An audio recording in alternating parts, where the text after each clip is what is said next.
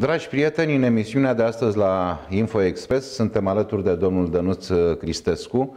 Dănuț Cristescu, cel care deschide lista Senatului a Partidului Social Democrat în județul Telorman. Domnule Dănuț Cristescu, pentru început, pentru aceia care încă probabil nu vă cunosc așa de bine, aș dori să încercați pentru ei un mic CV.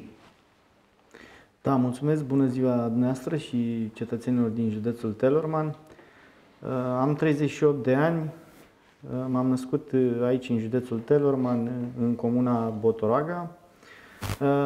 Am urmat cursurile facultății Universitatea Politehnica București. Am terminat facultatea specializarea tehnică a transportului în anul 2003 Uh, ulterior uh, am urmat uh, cursurile Universității Spiru Haret, Facultatea de Drept. Am finalizat în anul 2012 și în 2018 am mai urmat un master în administrație publică și management la Universitatea Dimitrie creștină Dimitrie Cantemir.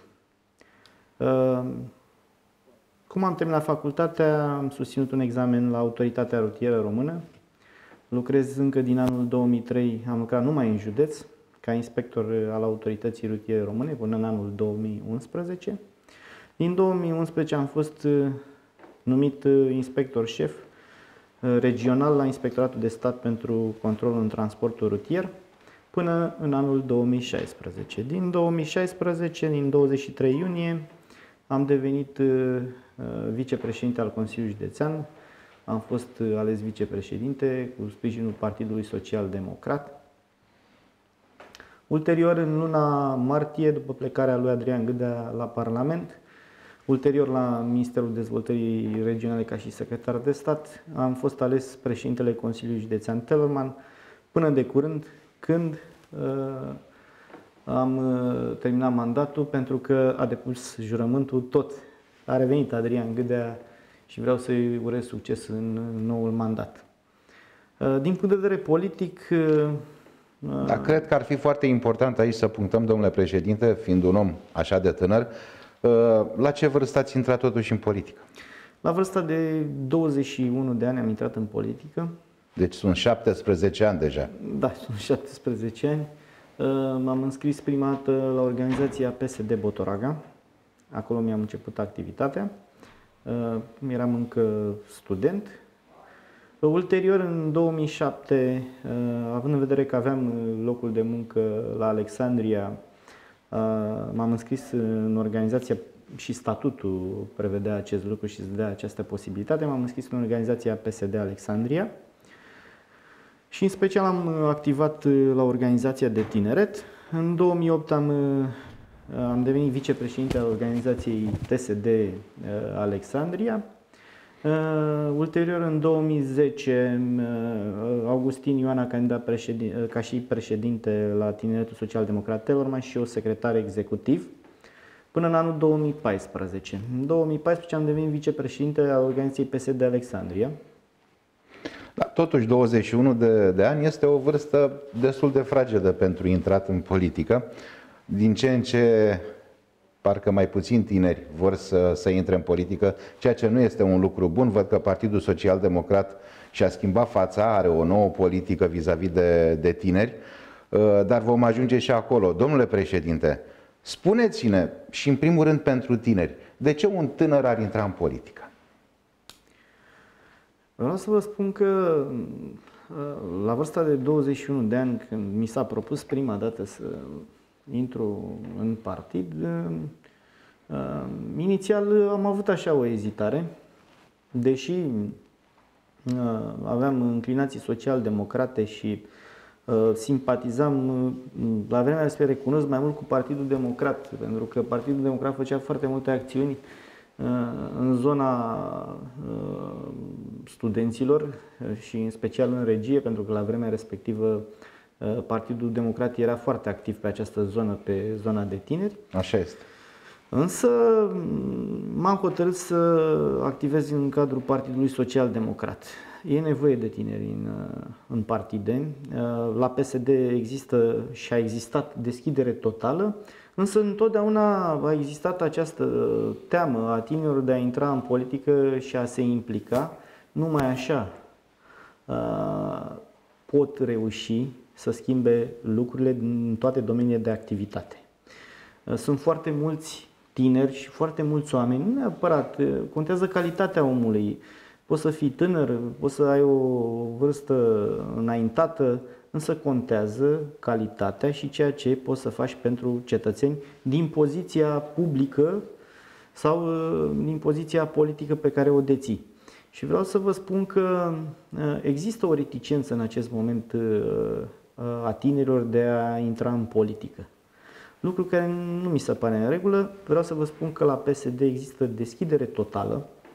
Eu am activat foarte mult în organizația de tineret și aici vreau să fac o precizare. Orice cetățean are dreptul să se înscrie într-un partid politic și noi uh, am adus toate clasele sociale către PSD. Adică am încercat să aducem tineri din toate clasele sociale, indiferent de studii, de pregătire. Uh, ai nevoie la un moment dat să uh, asculți opiniile și părerile tuturor. Uh, de aceea considerați, că... Că, considerați că opțiunea de stânga ar avea așa o valență mai mare către, către vârstele mai tinere? Din păcate, valențele de stânga ar, ar trebui să aibă către tinerii, în primul și în primul rând, pentru că majoritatea tinerilor se regăsesc în politica social-democrată. Sigur, acum, dacă ați observat, nu, vorbim, nu mai vorbim foarte mult de doctrină politică. Important e ce poți să faci pentru cetățenii din județul tău sau pentru cetățenii la nivel național. Știți că este un dicton.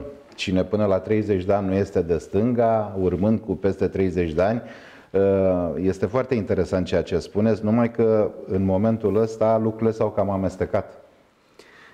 Da, este adevărat. Vreau să vă spun că mm, foarte mult timp tinerii s-au, uh, n-au, s-au temut, uh, n-au vrut să vină către PSD pentru că Partidul Social Democrat ar fi partidul baronilor. A existat o dezinformare și o manipulare foarte mare la nivel național și că, în general, tinerii trebuie să meargă către partidele de dreapta. Total greșit. Din punctul păi, meu de acum vedere... ajungem acolo unde mi-am și dorit să ajungem, domnule Cristescu. S-ar părea, de fapt nu s-ar părea, este un fapt deja, am văzut și toată lumea a văzut uh, listele.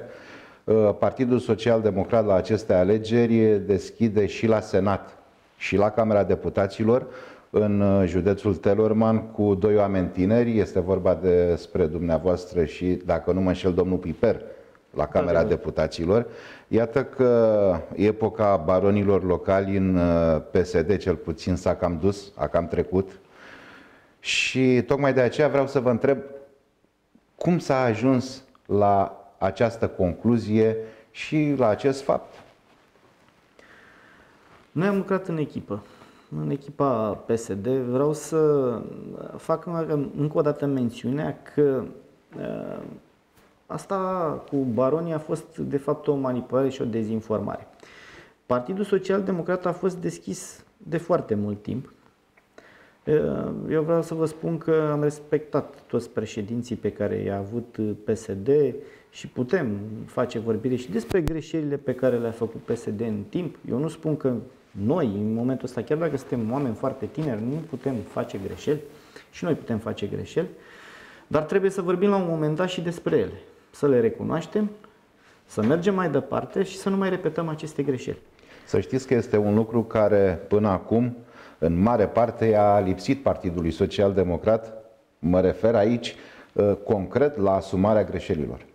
Dar vreau să vă spun că noi ca și tineri, ai, membri ai Partidului Social Democrat, nu ne-am format de acum două zile, am apărut uh, așa din neant. Uh, Adrian Gâdea în momentul ăsta este președintele PSD Telorman, președintele Consiliului Județean, a fost ministrul dezvoltării, uh, ministrul secretar de stat la Ministerul Dezvoltării Regionale. Um, provine tot din organizația de tineret a Partidului Social Democrat. A fost președintele Tineretului Social Democrat. Eu am fost președintele Tineretului Social Democrat. Ioan Augustin, care e viceprimarul municipiului Alexandria. Florin Piper, care a fost vicepreședinte și a fost uh, secretar executiv la tineret uh, împreună cu Adrian Gâdea la vremea respectivă. Uh, și avem o altă garnitură de oameni tineri, deci PSD a avut întotdeauna organizații de tineret. Vreau să vă spun că bazele organizației de tineret a început încă din anul 2006-2007. La vremea respectivă era mm, Uh, Liviu Dragnea președinte până de curând și atunci am început să construim și să facem uh, organizațiile de tineret, organizațiile de femei, organizațiile de pensionari care sunt importante. Uh, în permanență aceste organizații comunică cu tinerii, comunică cu pensionarii, cu organizația de femei. De, de foarte multe ori mm, se punea întrebarea de ce avem nevoie să avem mm, organizații de tineret, de femei și de pensionari. Eu zic că sunt extrem de importante. La un moment dat, mm, mi-au că aminte, în 2008-2009, făcusem Clubul Social Democrat. Ne făceam întâlniri cu personalități de la nivel central, cu senatori, cu deputați și din zona politică și din zona media, deci noi am denumit-o la vremea respectivă o acțiune de gen cafeneaua politică. Da, știți cum, cum gândesc oamenii și vă spun acest lucru pentru că am reacții destul de recente de la cetățeni și oamenii gândesc un pic politica ca în fotbal. Și spun, domne, există pepiniere în toate partidele. Problema este că să nu-i lasă să se antreneze toată viața, între ghilimele, bineînțeles, să-i mai promovezi și la echipa mare, să le mai dai și posturi, să le mai dai și funcții, ca să le oferi garanția că pot arăta ceea ce știu să fac. Da, să știți că organizația de la Telorman, organizația PSD Alexandria, unde președinte Victor Bregușin a promovat tineri.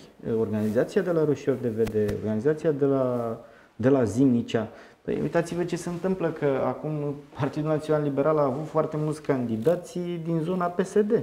La Zimnicea, spre exemplu, candidatul PNL a fost președintele Tineretului Social Democrat Zimnicea și vicepreședinte TSD Tellerman. Deci pepiniera a Partidului Social Democrat uh, s-a dovedit a fi una bună și uh, cu oameni, zic eu, pregătiți atât la nivel politic uh, cât și administrativ la momentul acesta, dar avem uh, o nouă garnitură de tineri pe lista uh, de la parlamentare, avem uh, pe, și oameni noi. Avem pe doctorul Ciubăr, care e nou până la urmă în zona politică, pe domnul Dincă Ionel, care e șef de producție la o societate în zona privată și conduce foarte mulți oameni. Adică am încercat să îmbinăm experiența, expertiza cu mm, oameni din zona de sănătate, cu oameni din uh, zona de educație. Vorbim aici de doamna Panagorez, vorbim și de Florin Piper, că uh, el a fost uh, și este profesor, uh, totodată a căpătat și experiență administrativă în zona uh, atât în zona politică cât și în, în zona publică, pentru că a fost vicepreședintele Consiliului Județean în acest mandat împreună cu mine. Deci avem uh, oameni, domnul Mircea Dumitrescu, care să ne întoarcem, să ne întoarcem la, la omul Dănus Cristescu. Și aș vrea să vă întreb, știți că este o vorbă celebră dintr-un film celebru, ce vă recomandă domnule Cristescu pentru funcția de senator? Acum nu o să dau replica din filmul respectiv. Uh, în primul și în primul rând uh, mă onorează faptul că am fost desemnat uh, candidat la Senatul României din partea Partidului Social Democrat și colegii mei mi-au acordat încrederea. Sunt convins că și cetățenii din Telorman pe data de 6 decembrie îmi vor acorda încrederea și Uh, cred că nu-i voi dezamăgi, așa cum am făcut-o în acești patru ani în calitate de vicepreședinte și președinte uh, și eu cred că s-a văzut, am lucrat în echipa PSD, uh, am avut o dezvoltare continuă la nivelul județului Telorman și sunt convins că proiectele vor, vor continua în perioada următoare. În primul rând, mă recomandă loialitatea față de cetățenii din Telorman față de uh, Partidul Social Democrat, pentru că mm, niciodată nu am făcut altă politică decât politica uh, oamenilor și a partidului și atunci când anumite lucruri nu mi s-au părut în regulă, chiar le-am spus, poate că și aici și eu am făcut greșeli și mi le asum, unele dintre ele Poate că trebuia să spun mai multe lucruri și trebuia să facem mai multe lucruri.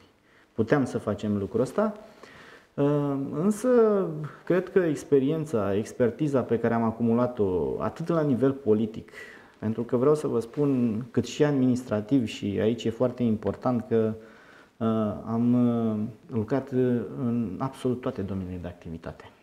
În absolut toate domeniile de activitate și m-am confruntat în această perioadă cu toate problemele pe care noi le-am avut în județul nostru și zic că am trecut prin perioade de criză și le-am gestionat bine. Nu foarte bine, dar bine. Am fost prezent 24 din 24 de ore în județ și alături de cetățenii din județul nostru.